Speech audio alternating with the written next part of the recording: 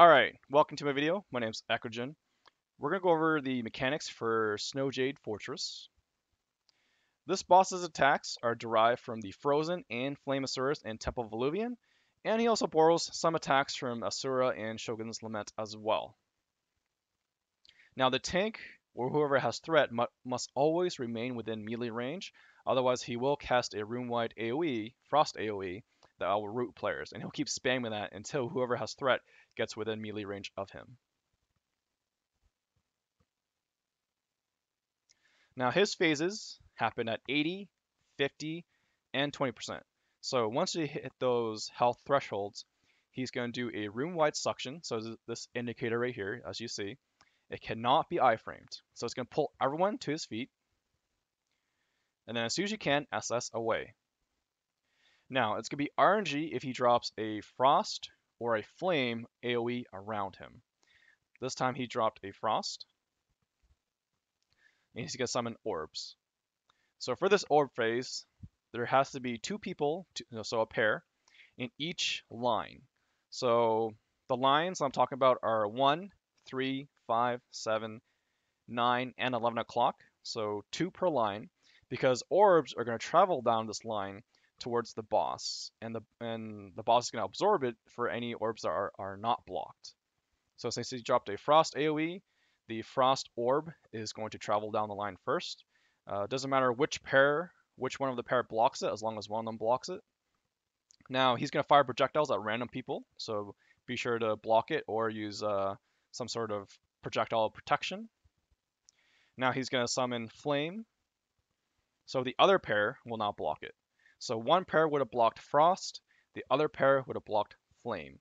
And once again, he's gonna he's gonna fire projectiles at random people. Now he's gonna summon flowers. Flowers are based on the initial AoE, so since it was Frost, there's gonna be Frost flowers. To get rid of these flowers, what you have to do is step on it with the opposite color. So people who blo uh, who block the flame orb can step on these frost flowers, and that's how you remove them. If you have no buff, or if you have the same buff and step on that color of the flower, then you will receive damage. So you have to have the opposite color to step onto it. And then he's also going to summon these frost swords all around him. Just make sure you iframe those.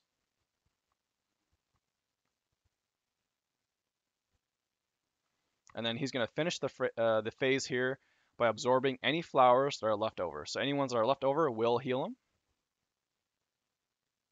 and any stacks of orbs that he does absorb, you see the buff right here, it says absorb orb buff, so he's got two stacks. Um, if he gets five, that will cause him to enrage. Uh, the, the stacks do not carry on to, to the next phase, so it does clear at the end of the phases. And now his next threshold is 50%, so once it hits that, that mark, he's going to do that room-wide suction again. It's going to pull everyone to the feet, to his feet. SS right away. Remember that it's RNG, so this time it's Flame. So he's going to summon Flame Orbs first. And now he's going to fire projectiles at people. So make sure one, one of the pairs block it. Next is going to be the Frost Orbs. And then once again, he's going to summon, he's going to fire projectiles at random people.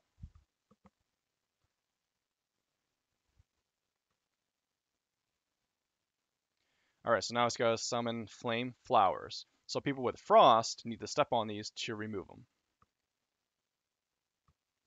Now the flame uh, part is probably the most dangerous part because he randomly picks markers. He he drops those persistent flame uh, AoEs on top of people. So for melees, uh, you should probably move away except for the tank. And then summoners, if if you have any summoners in your raid, they should recall their cats before this happens because uh, the marker can pick their cats as well, and that will drop a bunch of swords all around the boss, which will kill any melees that are around it. And those flame swords do a lot of damage. As you can see here, I got nuked by that. And now he's going to absorb any flowers that are left over, which will heal him. So that attack right there. So because I lost threat, a range player had threat.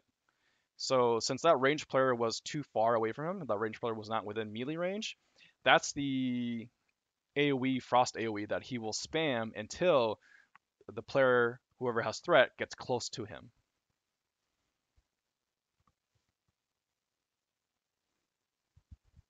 And then outside of his phases, he's just going to do his attacks until he hits the phases. So there's nothing special outside of the phases, really. All right, so 20%, so that's the last phase. So remember that phases are at 80, 50, and 20. So he sucks everyone to his feet, SS away. It's going to be RNG if it's Frost or Flame, so it's Frost in this case.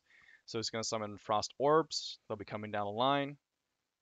He's going to be firing projectiles at random people. Next is going to be Flame, block the Flame, and then he's going to uh, proceed with firing projectiles again at random people. So each phase is exactly the same. There is no changes in any of the phases. And then outside the phases, he just does his basic attack moves. So there we go. That is the mechanics for Snowjade Fortress. I will include the summary of the mechanics in a video description below. If you have any questions, please of course ask and I will answer them. Thanks for watching. Hope that helps.